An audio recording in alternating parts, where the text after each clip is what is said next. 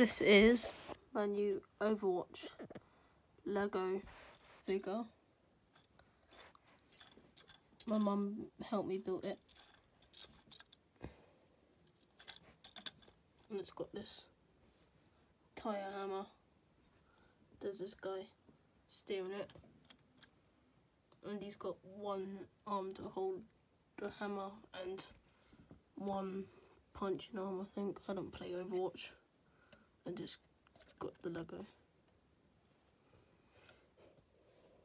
Feet have stickers on. And the back has this crystal, I don't know what it is.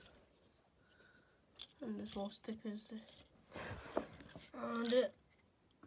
Like if you like the look of it. And Merry Christmas and bye.